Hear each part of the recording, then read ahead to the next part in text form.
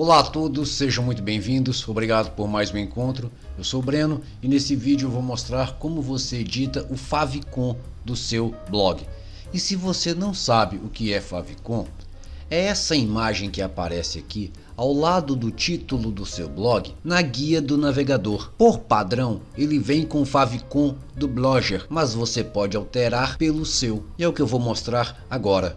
De volta ao layout do blog, eu vou em configurações e logo de cara ele já me trouxe a opção para eu editar o título, a descrição, o idioma do blog, informar se o conteúdo é adulto ou não, a opção de ID de métricas do Google Analytics e abaixo o favicon. Vou clicar para alterar.